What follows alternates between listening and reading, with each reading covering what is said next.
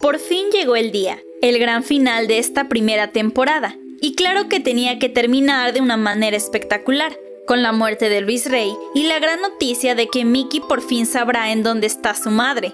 Pero esta vez no tendremos que esperar una semana para otro capítulo, sino un poco más, hasta que se llegue el día de la segunda temporada.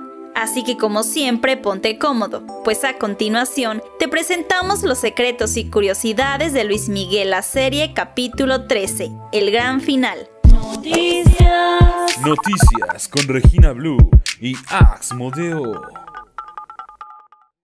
1.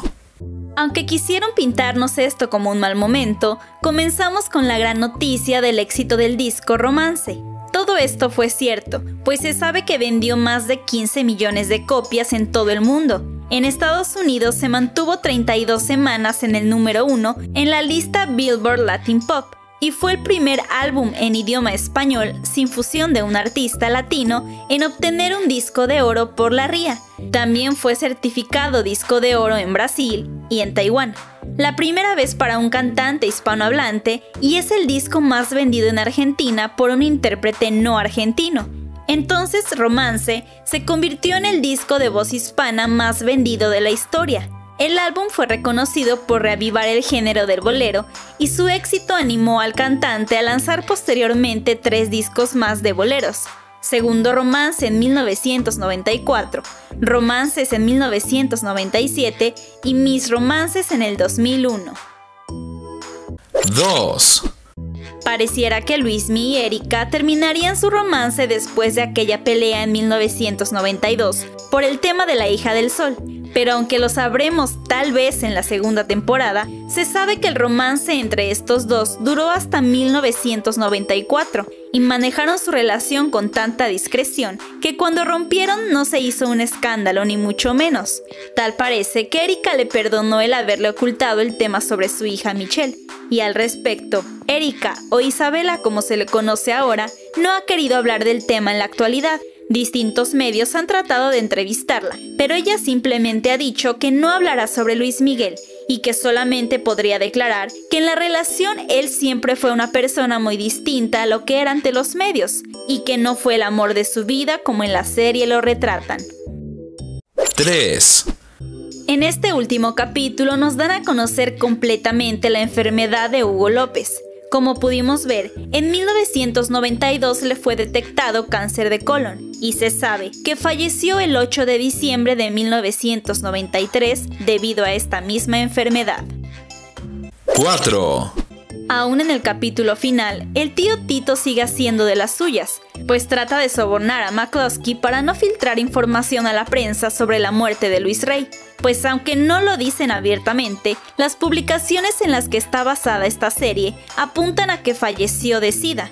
Es por eso que mencionan que era una enfermedad que gozaba de mala fama. Y como también vimos, Tito logró su cometido y recibió un buen dinero por callar esta información. Tan es así que si buscas en internet la causa de muerte de Luis Rey, te aparecerá que fue neumonía.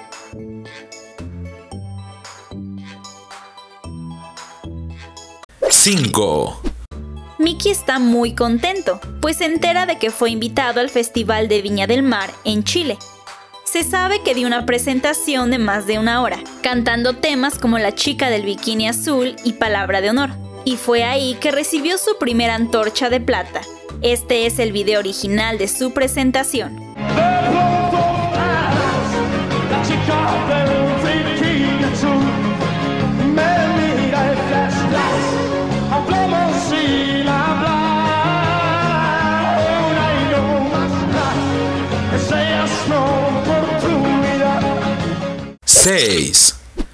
Aquí te presentamos las fotos originales de dos momentos clave. El primero es cuando Erika le dice a Luismi que lo había visto en la tele con el presidente, y se trataba de cuando el presidente Carlos Salinas de Gortari le hace entrega de su nueva nacionalidad como mexicano.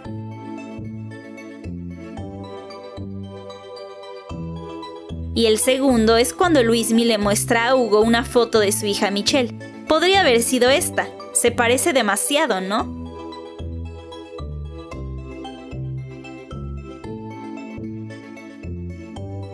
¡Siete! Por si no te diste cuenta, en el minuto 24 es justo donde se une el momento en el que comenzó la serie hace 12 semanas. Luismi estaba en un concierto en Paraguay cuando McCloskey le informa que su padre estaba muy enfermo y da su concierto normalmente. Pero hay evidencia de un concierto donde se le ve devastado. Se encontraba ya en Argentina cuando hizo saber a su público que su padre había fallecido. Y que siempre tengan algo que dar a, otra persona, porque lo más bonito que tenemos es el amor y ese cariño de un ser humano. Muchas gracias.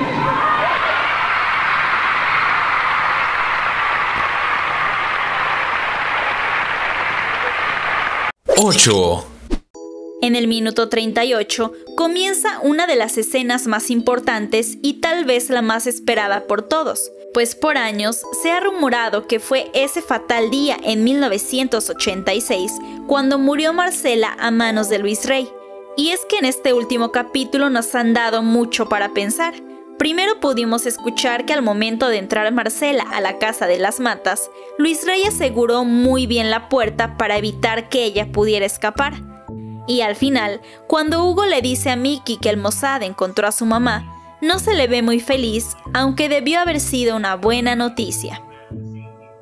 Tendremos que esperar un buen tiempo para saber más sobre el caso de Marcela, pero sin duda nos han dejado con muchas ganas de seguir viendo más sobre la vida del sol.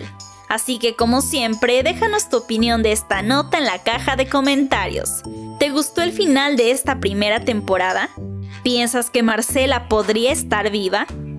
Y recuerda, si te gustó el video dale like, comparte y no olvides suscribirte. De mi parte esto es todo. Yo soy Regina Blue para Noticias de YouTube. Noticias. Noticias con Regina Blue y Ax Modeo.